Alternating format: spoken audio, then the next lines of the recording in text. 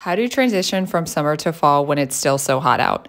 Excited for fall fashion, but the temperatures tell you otherwise? Here are three tips for feeling fall like but staying cool. Tip 1 Choose knit tanks, crochet tops, or sweater vests. These give off a warm vibe but also prevent overheating. Tip 2 Choose lightweight layers that can be removed to transition from cool mornings to hot afternoons. Try a button down top or lightweight jacket over a t shirt or dress. Finally, tip 3 Choose fall footwear. Boots are the obvious go to, but for those hotter fall days, consider mules in a texture like suede or calf hair that give off a more fall vibe. Save and follow for more.